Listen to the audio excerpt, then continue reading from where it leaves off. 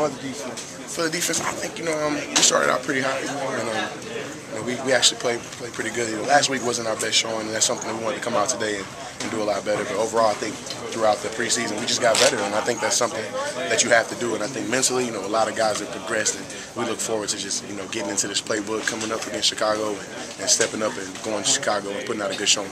Yeah, Miami, y'all came out there like did y'all six plays, got out. You know, Yeah. Jacksonville, look, y'all did Yeah. pretty much the same thing. And Pittsburgh, that was a tough test. Uh, you know, what what positives do y'all take into the, you know the new linebacker you take into the season? One positive thing, Curtis.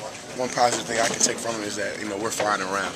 That's one thing. We're not out there lollygag. I don't think one of the I don't think many guys had lopes in the preseason. Guys just running around, flying around, and you know we just trying to get better as far as you know just thinking ball goes, and that's something that comes along with the reps. And, um, and I think I think we're right where we need to be, and we look forward to just you know keep keep progressing.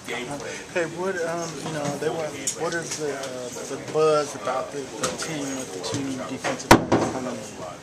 I think it's, it's, a, it's a positive buzz. You know, anytime you can get some some guys to come in and, and, and shore up the defense, you know, in the back end, I think that's going to be great for us. And you know, those guys are true proven players, and we look forward to seeing them get out there with us pretty soon. Hey, thanks, Sean.